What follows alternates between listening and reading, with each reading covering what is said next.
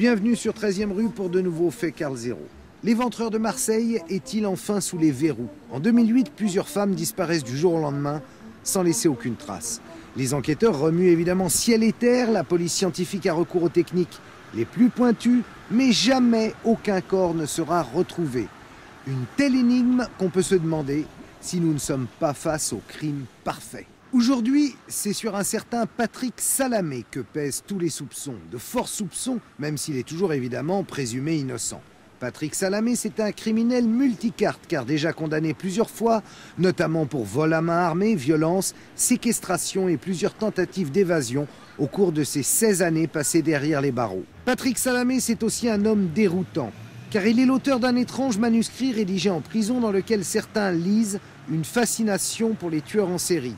Mais c'est aussi un peintre dont les tableaux seront exposés dans plusieurs galeries.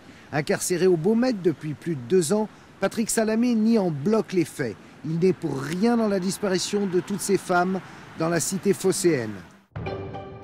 Zineb avait dit qu'elle faisait une, course à l'extérieur et elle n'est jamais rentrée. Ils ont mis euh, une équipe entière là-dessus parce qu'ils sont persuadés d'avoir affaire à un tueur en série, le premier à Marseille. Soumiel dit J'ai vu le corps inerte d'une femme immergée dans la baignoire de Salamé. Lui a toujours dit, mais non seulement je ne l'ai pas violée, mais je ne l'ai pas frappée. Et ensuite, elle n'a pas vu de cadavre chez moi parce qu'il n'y en avait pas. Mon frère, je sais que c'est un braqueur, mais ce n'est pas un violeur. Planter un, poignard dans le pied de quelqu'un pour 3000 francs, c'est inimaginable. Fatima, elle, habitait euh, à quelques centaines de mètres de Salamé. Euh, elle a disparu aussi sans laisser de traces en quelques heures. C'est impossible. Elle rentre tous les soirs à 20h, c'est moi qui devais aller la chercher, la ramener à la maison. C'est impossible policiers sont convaincus de la culpabilité de Salamé. Le problème, c'est la preuve. Que je serai obligé d'acquitter cet homme, alors que je sais pertinemment qu'il a tué au moins trois fois.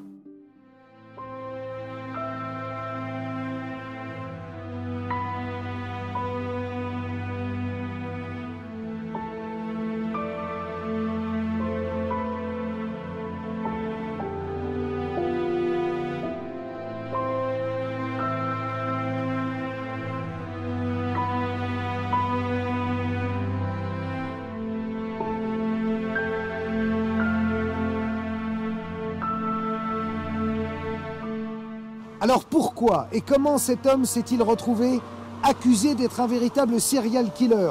Pourquoi va-t-on jusqu'à le comparer à Jack l'Éventreur? Suivez-moi Jack l'Éventreur, c'est ce mystérieux et célèbre tueur en série anglais de la fin du 19e siècle. Ses victimes, au moins cinq prostituées d'un quartier pauvre de Londres. Un siècle plus tard, octobre 2008, Marseille, l'histoire semble se répéter. En un mois, trois prostituées disparaissent coup sur coup. Le 5 octobre d'abord, Irina, une Ukrainienne de 42 ans, se volatilise dans la soirée.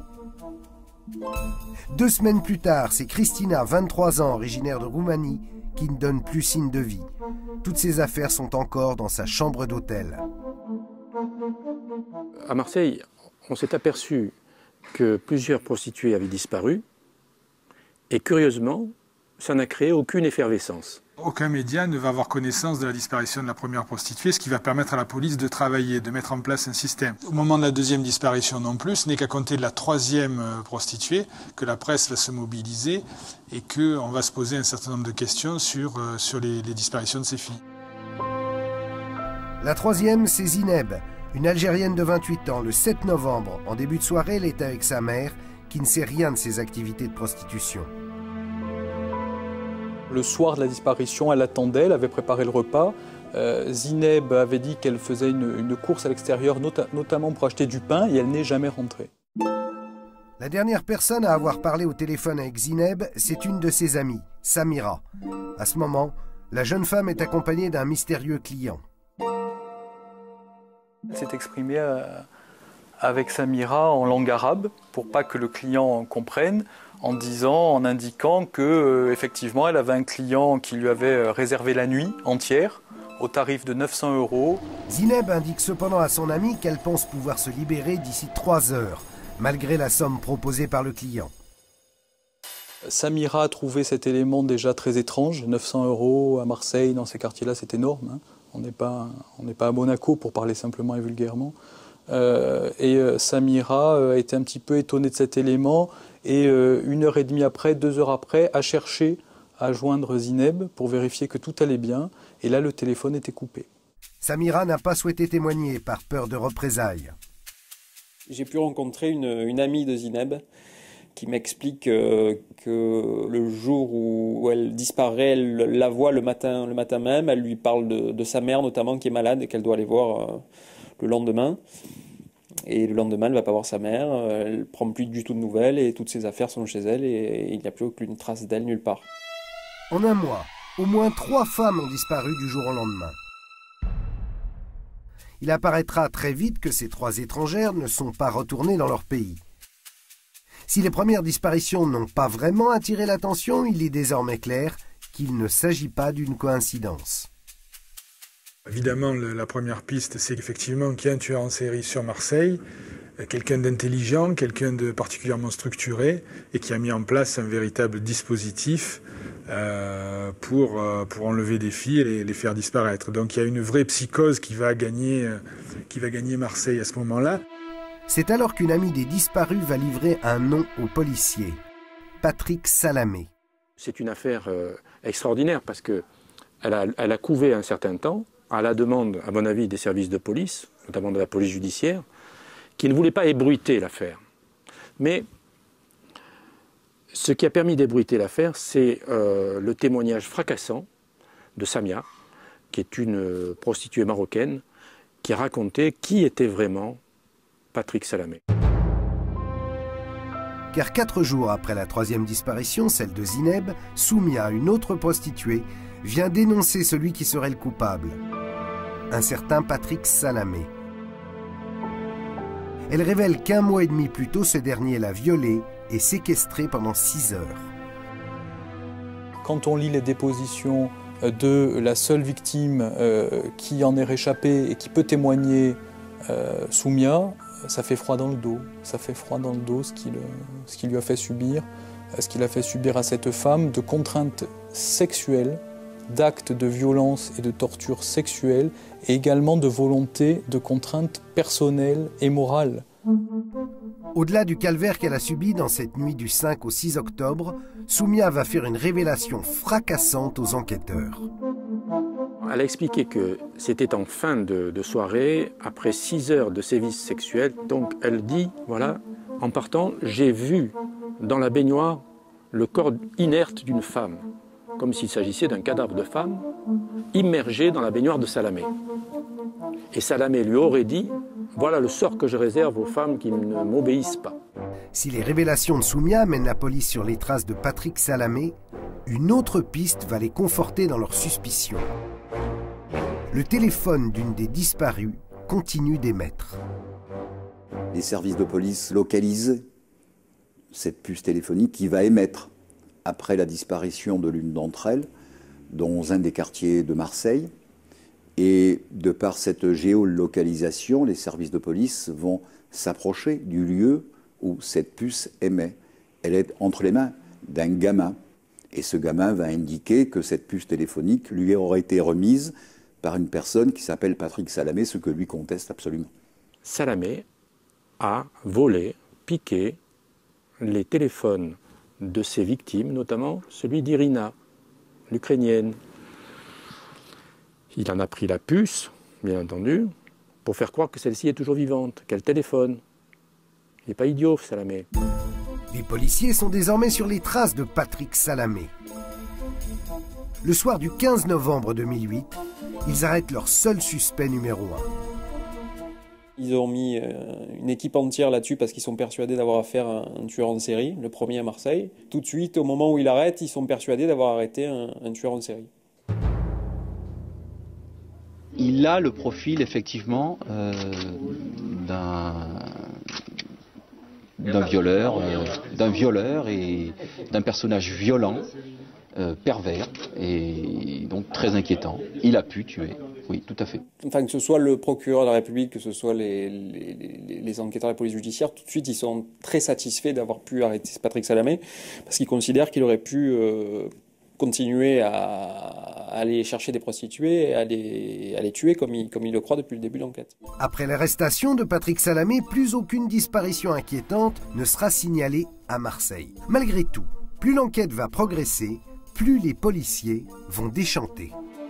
Ça y est, la police tient enfin son coupable. Le lendemain de son arrestation à cet endroit, la fontaine des Danaïdes, Patrick Salamé est publiquement désigné comme le tueur en série de Marseille, le bourreau d'au moins trois femmes. Pour l'instant, l'homme de 52 ans, marié, père de deux enfants, nie tout en bloc. Mais son histoire et sa personnalité ne plaident pas pour lui. Patrick Salamé est un repris de justice au lourd passé.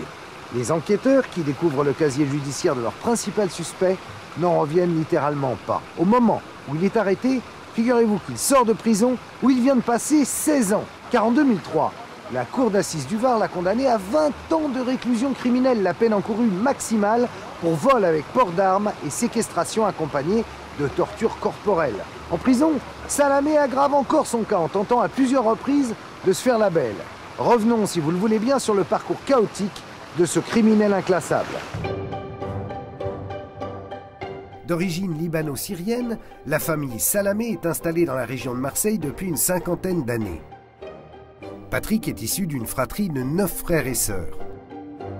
Lorsqu'il se retrouve en 2008 au cœur d'accusations le désignant comme le bourreau des trois femmes, les enquêteurs découvrent que ce n'est pas la première fois qu'il a affaire à la justice. Le juge d'instruction a versé à la procédure le casier judiciaire de M. Salamé qui euh, jette un éclairage euh, effectivement euh, inquiétant et troublant sur sa personnalité. Hein.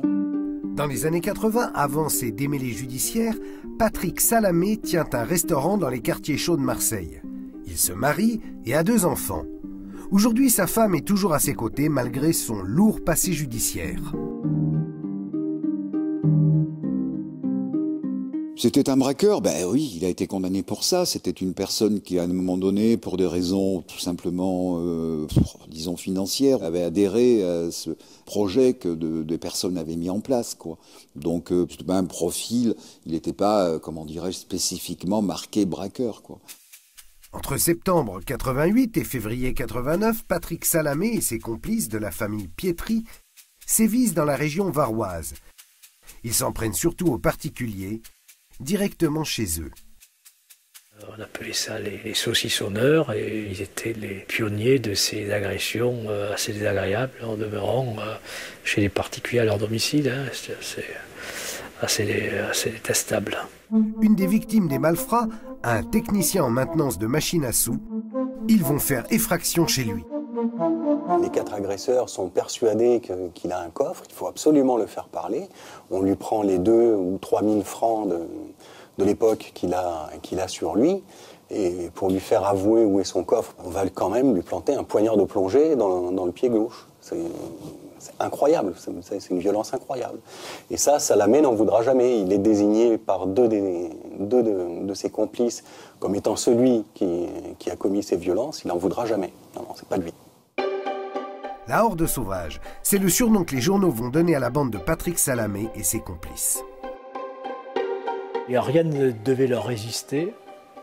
Euh, ils passaient à l'acte, c'est vrai, dans des conditions extrêmement virulentes et euh, tout ce qui était, j'allais dire, sur leur chemin était inéluctablement euh, éliminé. Hein. Notamment, ils n'avaient pas hésité à abattre un chien qui aboyait hein, inlassablement. Ce jour-là, le gang ne s'est pas attaqué à n'importe qui. C'est la famille Dinoya qui est séquestrée par la bande.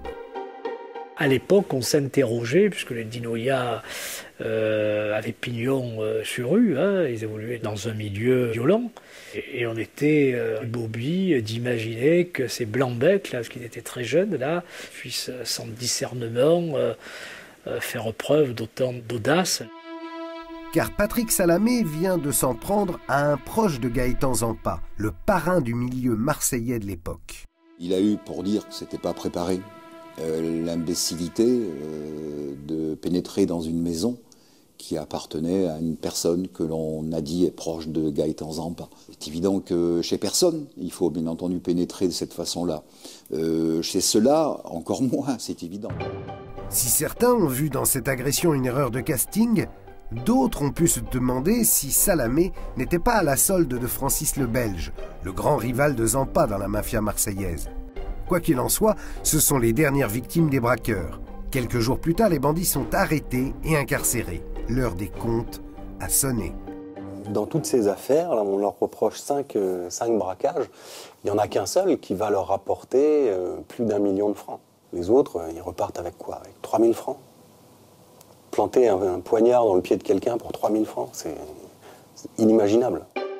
Dans l'attente de son procès, Patrick Salamé est placé en détention provisoire au Baumette. Le personnage de Salamé est quelqu'un de très intelligent. Dès que Salamé, euh, témoigneront des gardiens de prison, arrive dans une structure carcérale, il fait tout pour essayer de corrompre des, des surveillants et pour essayer de s'évader. Et il va y parvenir, enfin presque. S'il réussit à corrompre un gardien qui lui fournit une corde, l'évasion échoue peu. Il avait franchi et traversé toute la maison d'arrêt des Baumettes et il était arrivé sur la, coursive, le dernier mur, où là il devait, n'avait plus qu'à sauter et puis s'en aller. Et là il y avait eu un problème avec un gardien qui était sur le Mirador et donc euh, ils se battent et Patrick Salamé, suite à cette bagarre, tombe non pas à l'extérieur mais à l'intérieur. À l'atterrissage, le fuyard se casse la jambe. Patrick Salamé ne pourra donc se soustraire ni à la prison, ni à son procès qui s'ouvre le 10 mai 93 à la cour d'assises de Draguignan. Il comparait avec trois de ses complices. Salamé euh, était bien évidemment présenté comme celui qui avait accompli les basses besognes. Il était dans le dossier présenté comme celui qui avait, commis ces, actes de, entre guillemets, de, de cruauté. Le jeune braqueur de l'époque choisit de se taire. Rares sont ses interventions, mais elles ont marqué les journalistes qui suivaient l'audience. L'anecdote la plus euh, croustillante quand même rétrospectivement, c'est que Salamé, qu'on accuse d'être euh, le tortionnaire en chef, quand le président de, la cour d'assises lui demande pourquoi il n'a absolument rien dit euh, aux enquêteurs en garde à vue, il dit on m'a frappé, on m'a torturé en garde à vue, alors le souvenir de Jean Moulin m'est revenu et, j'ai imité son exemple, je, me suis tu comme Jean Moulin. Ça manque pas de saveur quand même. Par ailleurs, Patrick Salamé fait l'objet d'une accusation qui détonne. Il est le seul braqueur à être poursuivi pour attentat à la pudeur. C'était étonnant, c'était insolite, hein. c'était une, tâche là, dans ce cursus de, braqueur, de voir un des braqueurs euh, se voir euh, opposé ou imputer une affaire à connotation sexuelle.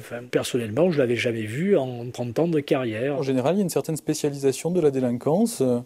Euh, effectivement, euh, on avait à l'époque ce qu'on appelait les bandits d'honneur qui euh, se spécialisaient en quelque sorte dans le braquage et qui au contraire détestaient et avaient la hantise qu'on les assimile aux délinquants sexuels et à ceux qui faisaient cette petite délinquance sale et moche pour eux. Là non, on a quelqu'un qui a plusieurs casquettes effectivement.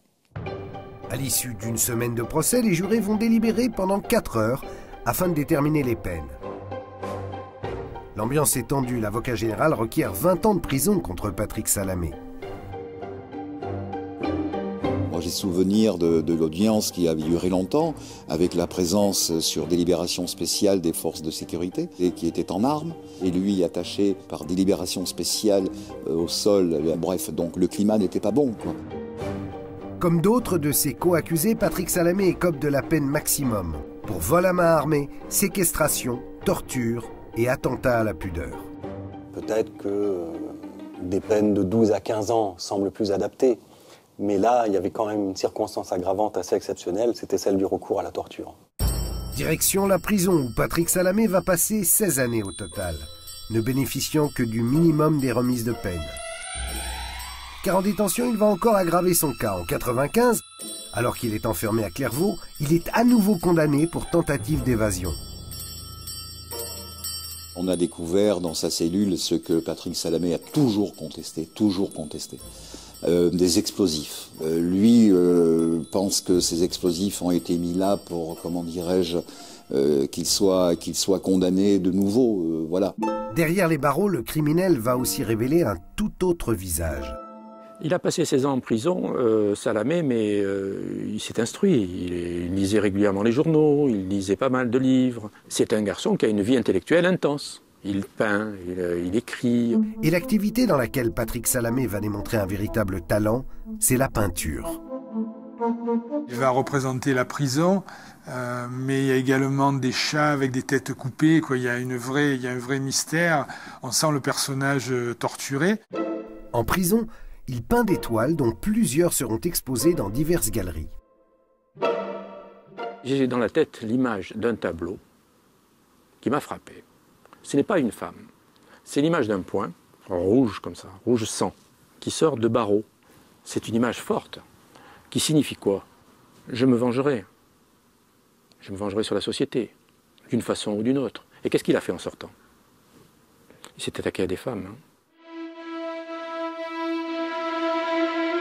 Je ne pense pas qu'on puisse dire de quelqu'un qui a besoin d'exprimer par la peinture, par la toile, quelque chose, euh, on ne puisse pas dire que ça, ça fait de lui un pervers sexuel. Je crois qu'il faut garder un peu raison.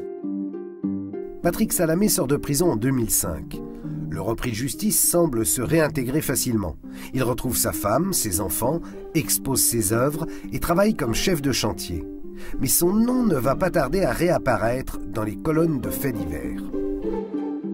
Juste trois ans de liberté. Libéré en 2005, Patrick Salamé retourne derrière les barreaux dès 2008, lorsque la police l'identifie comme étant le tueur en série de Marseille.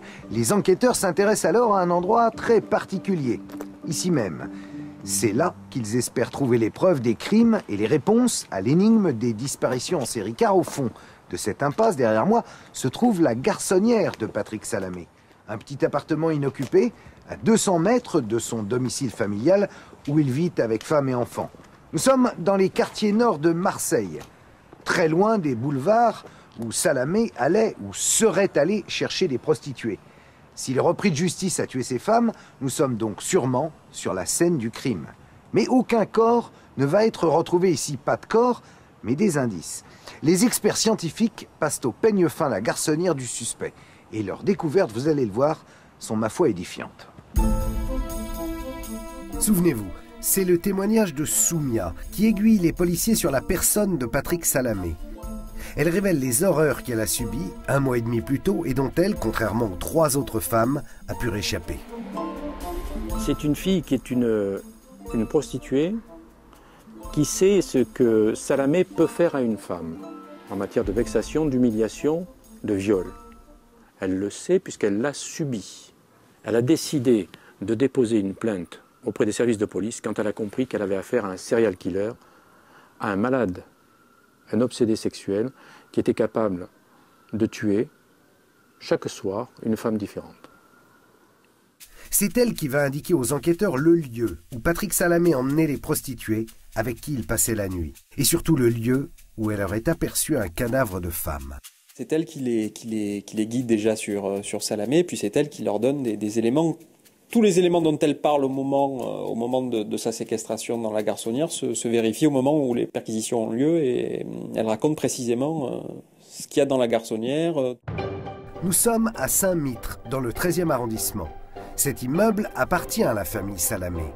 Et un de ses appartements est désigné par Soumia comme la garçonnière de son bourreau. Lorsqu'on l'a raccompagnée avec la police sur les lieux du forfait, elle s'est évanouie quand elle a retrouvé la garçonnière de Salamé, les souvenirs ont afflué dans son cerveau et elle s'est évanouie. C'est vous dire si, cette femme avait été touchée et, violentée. La garçonnière de Patrick Salamé, située à une centaine de mètres de son domicile familial, va être passée au peigne fin. Et les résultats sont accablants. Les experts scientifiques retrouvent l'ADN des trois femmes disparues. Zineb, Christina et Irina. Les trois prostituées ont transité par la garçonnière de Patrick Salamé. Elles y ont laissé, j'allais dire, des, traces. Traces de bijoux, de bracelets, de, de, boucles d'oreilles, un sous-vêtement, Zineb. On a retrouvé la, la culotte de Zineb, comme par hasard. Tiens, j'ai oublié ma culotte. Mais pour la défense de Patrick Salamé, ces éléments ne sont pas déterminants. Il y a des traces de, des ADN retrouvées donc sur, de ces personnes qui démontrent qu'elles sont bienvenues dans cette maison. Ça, il n'y a pas de problème. Il reconnaît les avoir amenées chez lui, où il a eu ses relations tarifées et avoir accompagné ces jeunes filles. Donc, il n'a jamais contesté avoir été en contact avec ces personnes. La question, c'est euh, était-ce le dernier moment pour elles car s'il est prouvé que les disparus sont bien passés par la garçonnière de Patrick Salamé, il n'y a cependant aucune trace de crime. Pas de cadavre, mais surtout aucune trace de sang, ni dans l'appartement, ni dans la voiture de Salamé. Il n'y avait pas de trace de sang euh, dans la Clio de Salamé, il n'y avait pas de trace de sang non plus dans l'appartement. Alors même que Soumia avait dit aux policiers qu'elle avait remarqué dans la baignoire de Salamé une femme inerte, allongée dans la baignoire. Dans la Clio de Patrick Salamé, on ne retrouvera aucune trace de sang. C'est ce qui aurait permis euh, aux enquêteurs de faire le lien entre l'éventuelle séquestration, l'enlèvement et l'hypothèse de, l'assassinat. On ne retrouve que des éléments pileux, des éléments ADN et aucune trace de sang. Les enquêteurs n'ont donc aucun élément qui prouve que les trois femmes disparues ont été assassinées. D'autant que leur corps n'est toujours pas retrouvé. Que s'est-il alors vraiment passé dans cette mystérieuse garçonnière? L'enquête de voisinage ne leur fournit non plus aucune réponse univoque, mais juste des indices. Un seul des locataires de 2008 vit encore sur place, dans l'appartement mitoyen de celui de Patrick Salamé. Déclaration d'un voisin anonyme, Monsieur Salamé n'a jamais habité dans cette résidence. Jamais. J'habite depuis 2007. J'ai vu une fois M. Patrick Salamé en train de faire des travaux dans l'un des appartements, ce qui me paraissait logique vu que c'est la famille. Le voisin de palier n'a jamais rien vu, ni entendu de suspect. On me dit, mais monsieur, vous habitez à côté, vous avez entendu Je fais, rien entendu. Gueuler sur les toits, qu'ils vont violer une femme, ou vont la tuer, ou vont l'assassiner, ou vont faire ce qu'ils veulent. Ils vont pas le crier sur les toits. Par contre, il y a d'autres voisins qui ont entendu des trucs suspects qui l'ont jamais déclaré. Mais ils sont partis, ces voisins, ça. Ah. Ils ont vu des gens transporter des matelas. Moi, je peux pas. Moi, d'ici là, je vois rien, moi, ce qui se passe. Vous voyez quelque chose quand vous êtes Vous voyez pas. Eux, ils ont une vue. Vous voyez des gens transporter des matelas à 2h, à 1h du matin, ça leur paraissait normal. Que des gens déménagent de matelas à 1h du matin. Ça prêtait pas à suspicion. Non, pour eux, c'était normal. Malgré la multiplication des auditions, l'enquête de voisinage n'apportera rien de supplémentaire. Les policiers se concentrent sur les corps. Il faut retrouver les cadavres de Zineb, de Christina, d'Irina. Eux seuls pourraient parler. Le procureur d'Alest a tout fait. Euh, il a déplacé des gendarmes, des policiers, en grand nombre, sur un terrain de Salamé à Saint-Julien-le-Montagnier, dans le Var. Ils ont retourné le terrain avec euh, des radars euh, géodésiques pour essayer d'examiner s'il n'y avait pas de cadavres. Des chiens renifleurs de cadavres, vous imaginez Ils sont retournés chez lui, ils ont tout retourné. Pas de cadavres, pas de traces. Des plongeurs ont même sondé le canal de Provence, qui passe à côté de la garçonnière de Patrick Salamé. En vain. Le champ d'investigation est très large, puisque tout lieu susceptible d'avoir été fréquenté par l'intéressé est un lieu qui est potentiellement suspecte un lieu où des, corps peuvent être, être enterrés. Euh, voilà, donc ça demande du temps, ça ne peut pas se faire en cinq minutes. Vu le nombre de corps susceptibles d'avoir été dissimulés, ça, paraît, ça paraît assez, incroyable qu'on ne puisse pas retrouver au moins, au moins un des corps. Persuadés que les trois femmes ont été assassinées, les enquêteurs vont donc remuer ciel et terre pour retrouver les cadavres. Sans cadavres, la justice ne peut pas poursuivre Patrick Salamé pour meurtre. On a la démonstration d'aucun élément matériel qui permet de dire non seulement les a-t-il vus ou pas en dernier, mais en plus est-il à l'origine de cette disparition et c'est pas pas démontré. On en est encore à ce que la maison d'habitation et le terrain soient survolés pendant presque trois heures par un hélicoptère et des caméras infrarouges. Je veux dire, euh, bon, voilà, deux ans plus tard, on en est au même point qu'au début. Lors de ses rendez-vous avec le juge, comme lors de sa garde à vue, Patrick Salamé garde le silence. Il nie farouchement les meurtres des prostituées. Une sorte de certitude dans son enfermement, dans son mutisme, qui euh, logiquement euh, conduit à se demander s'il n'est pas certain euh, de la perfection de son système. Voilà un garçon qui, se comporte comme un criminel parfait. Et on en arrive à son profil psychologique. En prison, pendant 16 ans, il a rédigé des manuscrits à sa façon. L'un de ces manuscrits porte sur les serial killers, sur les tueurs en série. Et on a l'impression que ce garçon est habité par une sorte d'esthétique du crime. les enquêteurs vont également retrouver sur lui ce fameux manuscrit qui fait un peu l'apologie, en tout cas qui s'inspire de la vie d'Alfredo Stranieri, cet homme qui est accusé euh, d'être un tueur en série. C'est en prison où il a passé 16 ans que Patrick Salamé a rencontré Stranieri et rédigé ses feuillets. Dans les années 90, Alfredo Stranieri recrutait ses victimes via les petites annonces. En 2003, il sera condamné à la réclusion criminelle à perpétuité pour quatre meurtres. Le manuscrit euh, présentait Stranieri un peu comme son modèle. On sentait qu'il y avait une espèce de phénomène d'identification, à tout le moins de, de regard un peu complice et quelque part admirateur sur le, sur le personnage. Donc ça peut permettre aussi de, de comprendre certaines choses. Est-ce qu'il s'est rêvé euh, est-ce qu'il s'est identifié à Stranieri et qu'il a voulu reproduire le même modèle? Ce, manuscrit, il est révélateur. Il veut prouver que les policiers sont des bâtards, c'est pas mon langage, c'est le sien, et que les magistrats sont des cons. Que lui, Patrick Salamé, c'est le plus intelligent. C'est vrai qu'il est intelligent, redoutablement intelligent. C'est un cérébral, m'a dit un magistrat, ce type. C'est un cérébral, attention. C'est pas seulement une brute épaisse. Mais devant une cour d'assises, les romans d'un accusé ne constituent pas une preuve. Il a euh, raconté la vie de ses co-détenus. Voilà, c'est ça le, ça le manuscrit. Donc c'est pas quelque chose qui, qui, a un rapport avec les faits, mais quand il va parler de l'un d'entre eux qui fut condamné pour des faits pareils, on imagine que par transposition, il fait état, mais ça n'a rien à voir. C'est la vie de Stranieri, c'est la vie de. Il raconte la vie de co-cellulaire. Voilà, c'est tout. Donc effectivement, ça peut permettre de colorer le personnage, même si euh, c'est pas parce qu'on lit euh, des bouquins sur les grands évadés ou les grands criminels du siècle qu'on est grand criminel soi-même.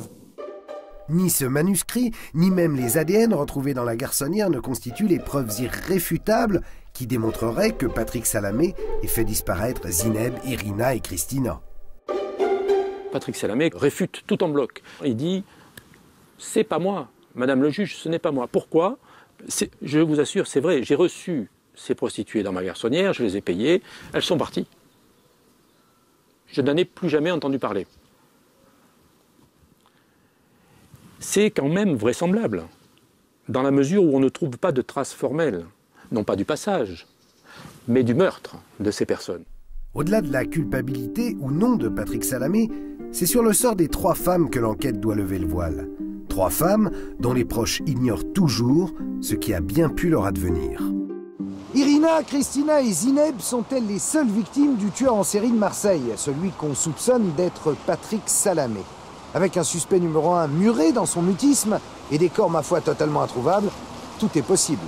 Peut-être la jeune Fatima a-t-elle eu affaire elle aussi à celui que les journaux surnomment l'éventreur de Marseille? L'histoire de Fatima, ici, tout le monde la connaît.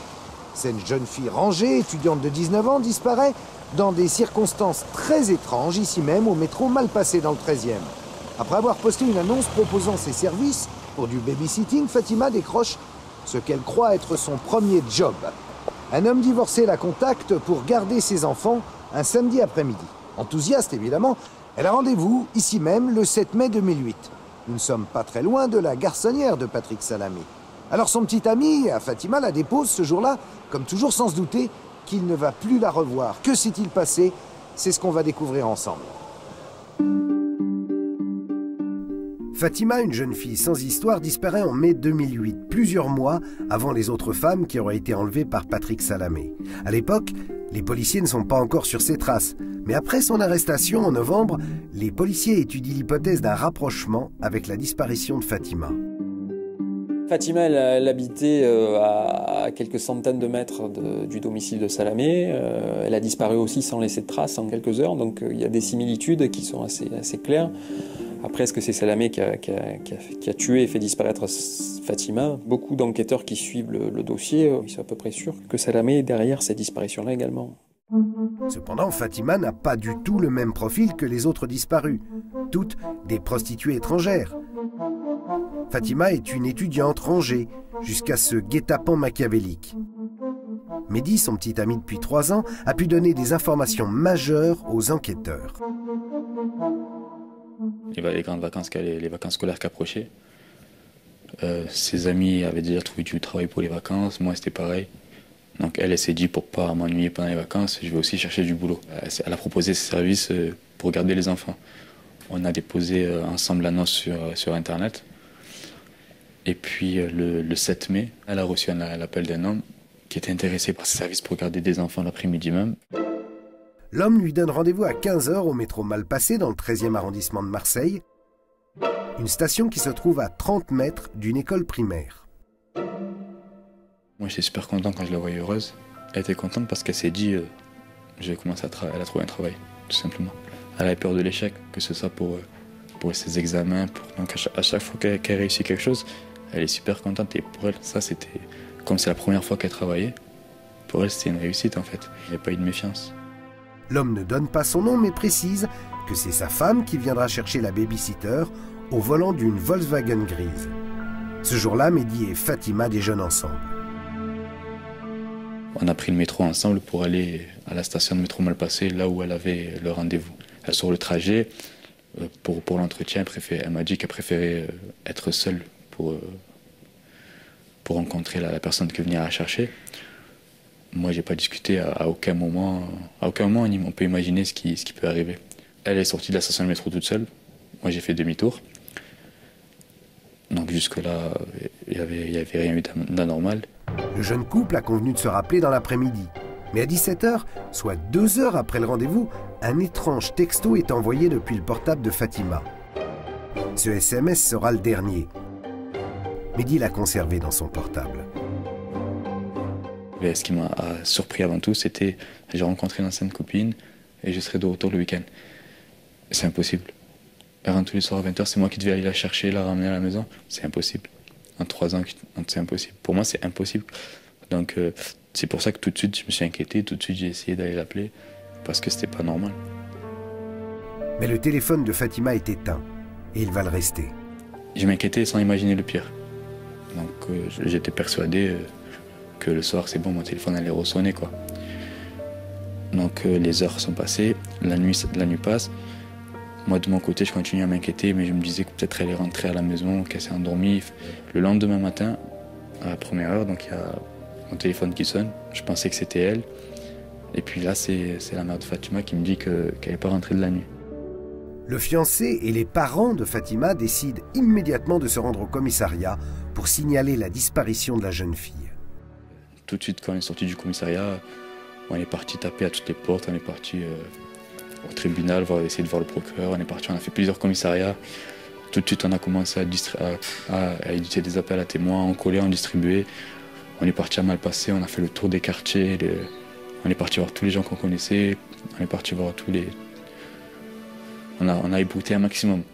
Donc euh, le, le, jeudi même, le soir même, il y a tout Marseille qui était déjà au courant. Les premiers résultats de l'enquête déterminent l'endroit où a été passé le coup de fil pour le faux babysitting.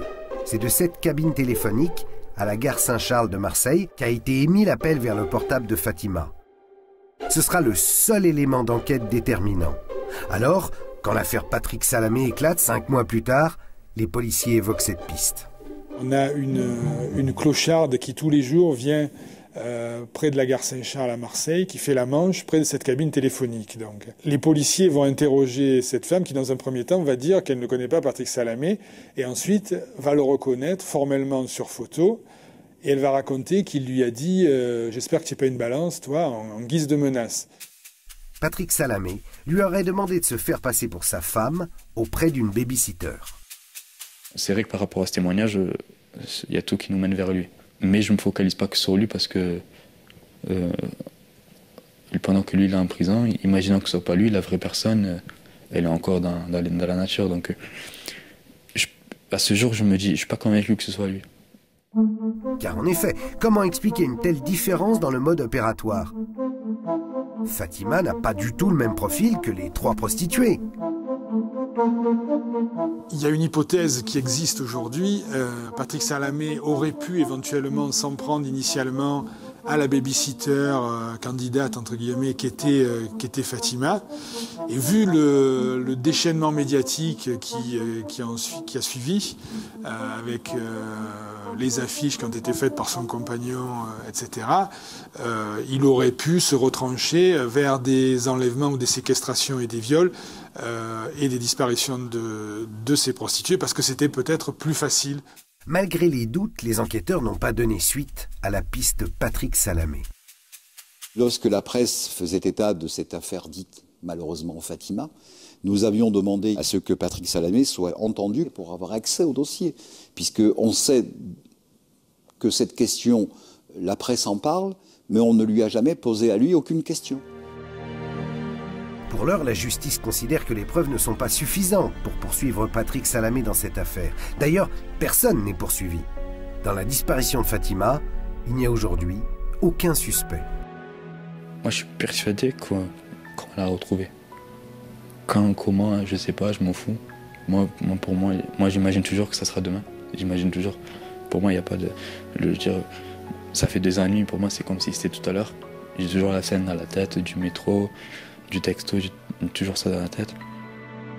Depuis deux ans et demi, il ne se passe pas un jour où Mehdi ne tente de retrouver Fatima. La police, quant à elle, invite toute personne ayant des informations à la contacter au 0805 01 07 07. Même si le nom de Patrick Salamé a été évoqué dans l'enquête sur Fatima, il n'est pas officiellement soupçonné. En l'état actuel du dossier, le Marseillais de 52 ans est juste poursuivi par la justice pour la disparition de trois femmes, Irina, Christina et Zineb, dont on a toutes retrouvé l'ADN chez lui. Étant donné que ces victimes se sont volatilisées du jour au lendemain, les enquêteurs considèrent qu'elles ont été assassinées. Toutefois, comme aucun corps n'a été retrouvé, malgré des recherches considérables, Patrick Salamé n'est pas poursuivi pour homicide, mais seulement pour enlèvement et séquestration. Une subtilité juridique dont la défense de l'accusé va certainement tirer profit. Une défense qui a d'ailleurs plus d'une carte à jouer. La défense de Salamé compte bien plaider l'acquittement.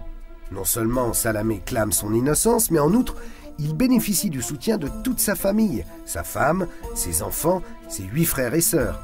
L'une d'elles a accepté de témoigner tout en préservant son anonymat. Mon frère, je sais que c'est un braqueur, mais ce n'est pas un violeur. Je connais, je le connais parfaitement. C'est mon frère, c'est mon frère de sang.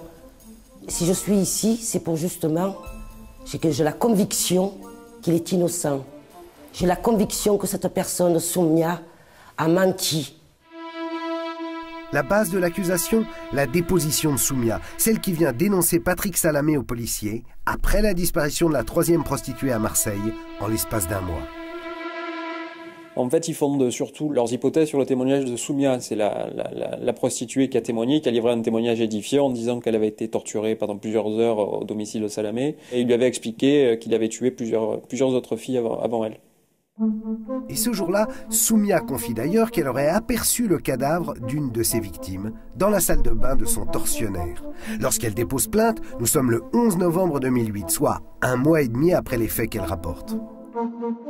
La première question euh, de ceux qui entendent euh, cette, euh, ce récit très dur demande mais pourquoi pourquoi n'avez-vous pas déposé plainte immédiatement? Alors elle nous répond que c'est parce qu'elle était traumatisée et sans doute parce qu'elle avait peur de celui-ci. Mais c'est vrai qu'on est tout de suite interpellé par cette absence de réaction et cette absence de plainte. lorsque vous êtes violé, vous êtes traumatisé. Vous allez porter plainte vous allez voir le médecin.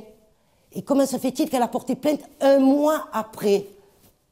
C'est quand même euh, bizarre tout ça. Par la suite, Soumia va revenir plusieurs fois sur ses propos. Et l'objet de ses hésitations est loin d'être un détail.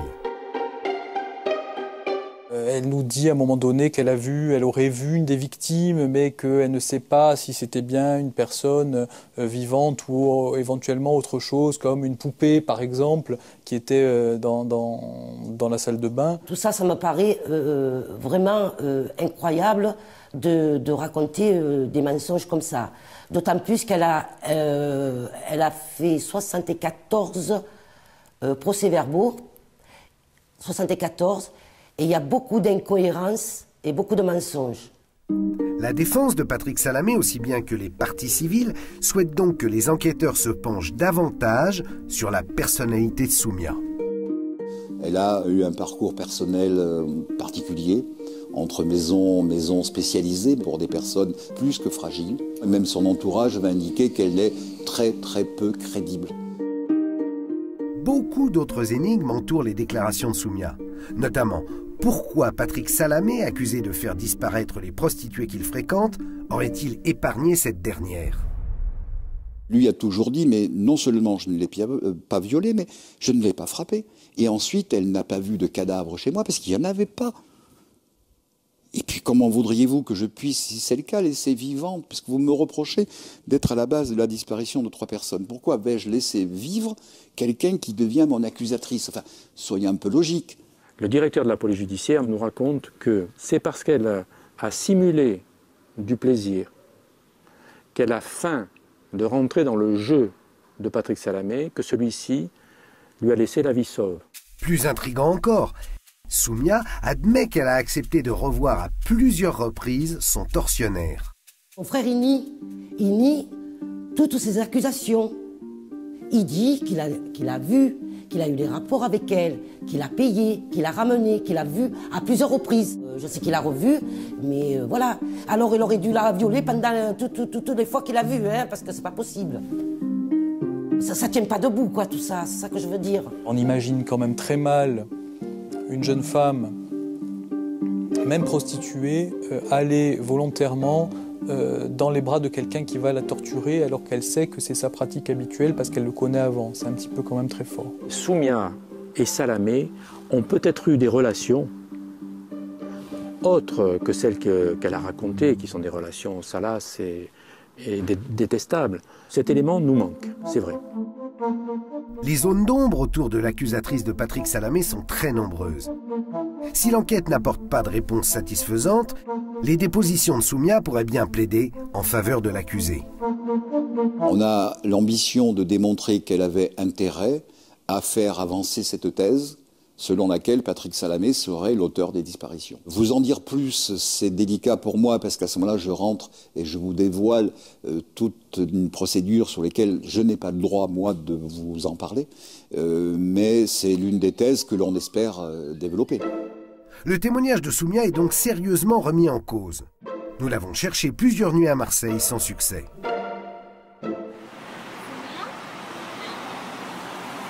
La fille marocaine qui avait des problèmes. Ouais. C'est qu'elle elle, qu'elle pas, elle est pas morte, elle n'a pas tué. Je ne sais pas s'il travaille encore. Hein. Je ne sais pas. Aujourd'hui, la jeune Marocaine qui a révélé l'affaire est introuvable sur les trottoirs de la cité phocéenne. Pour prouver l'innocence de Patrick Salamé, la défense a donc l'intention de reléguer l'accusatrice au rang des accusés. Et plus encore, pour contester l'implication du suspect numéro 1 dans la disparition de trois femmes, la défense cherche à démontrer que les victimes sont en réalité toujours vivantes. Ont-elles disparu ou pas? Aujourd'hui, le dossier pourra peut-être révéler qu'elles sont peut-être vivantes. D'accord? Moi, je ne prends pas pour acquis le fait qu'elles qu'elles aient disparu. Je ne prends pas pour acquis le fait qu'elles ne soient plus vivantes. Je dis aujourd'hui, vous n'avez pas exploré toutes les pistes pour savoir si elles sont toujours vivantes. À ma connaissance, euh, il paraît qu'il y a une fille qui serait euh, dans son pays, qu'un taxi l'aurait amenée. Donc apparemment, il y a une personne de vivante. Maintenant, les autres filles, je n'en sais pas plus. Sans cadavre, rien n'est exclu. Les enquêteurs poursuivent leurs investigations et se penchent notamment sur l'existence de complices. Souvenez-vous, les voisins de Patrick Salamé avaient aperçu des hommes transportant des matelas en pleine nuit. Vu l'ampleur euh, du nombre de disparus, vu le trouble exceptionnel euh, à l'ordre public, euh, eh bien on se dit pourquoi on ne les ait pas retrouvés pour que ce monsieur Salamé reste totalement mutique avec une sorte de, de certitude pour garder ce silence, on se dit peut-être n'était-il pas seul L'absence de cadavre, l'avocat de Patrick Salamé, lui, en tire d'autres conclusions. Son client est innocent. Aujourd'hui, on en est toujours à se poser les mêmes questions, la même question. Est-ce qu'il est la dernière personne à les avoir vues vivantes? Lui dit que non, et le contraire n'est pas, pas rapporté. Le dossier, j'espère, arrivera à démontrer qu'il y a d'autres personnes qui ont vu ces trois malheureuses après que Patrick Salamé les ait rencontrées. Selon toute probabilité, c'est une cour d'assises qui devra déterminer la culpabilité ou non du seul et unique inculpé dans cette affaire. Si l'enquête n'apporte pas de nouvelles révélations, l'issue de ce procès sera totalement imprévisible. Je crois que le magistrat instructeur et les policiers sont convaincus de la culpabilité de Salamé. Je crois aussi que la justice est convaincue de l'éventuelle culpabilité de Patrick Salamé dans la disparition de Fatima. Le problème, c'est la preuve. En matière de justice, il faut faire la preuve. Là, la preuve n'existe pas. La certitude qu'auront les jurés, c'est que les trois femmes disparues en un mois à Marseille sont toutes passées par la garçonnière de Patrick Salamé. Comme le veut la loi, ils devront alors se forger une intime conviction. Vous me demandez si je souhaiterais être un juré? Non. Parce que je serais obligé, obligé, par ma conscience, d'acquitter cet homme. Alors que je sais pertinemment qu'il a tué au moins, au moins trois fois. Sans jouer les, euh, les, les, Cassandres judiciaires, je dirais que le dossier tel qu'il existe et au vu de la connaissance que j'en ai peut parfaitement permettre de condamner Patrick Salamé aux assises sur la base d'une séquestration ou d'un enlèvement. Euh, c'est aussi un beau dossier, un beau challenge pour la défense que de démontrer que puisqu'il n'y a pas de corps, donc pas de cadavre, donc euh, pas de culpabilité, pas de, pas preuve vraiment tangible. Deux ans plus tard, on en est au même point. C'est-à-dire qu'il y a la preuve de rien. Vous savez, je crois qu'aujourd'hui, il faut s'attacher à ce qui est l'essentiel, c'est la démonstration de l'innocence d'un homme. Ce que j'envisage, moi, c'est que l'on arrive à ce qu'il soit acquitté pour les faire reprocher. Le dossier sur la disparition des trois femmes de Marseille est toujours en instruction. On ne connaît pas à ce jour la date du procès, mais il y a fort à parier que l'affaire Patrick Salamé nous réserve encore beaucoup de surprises. Bonsoir.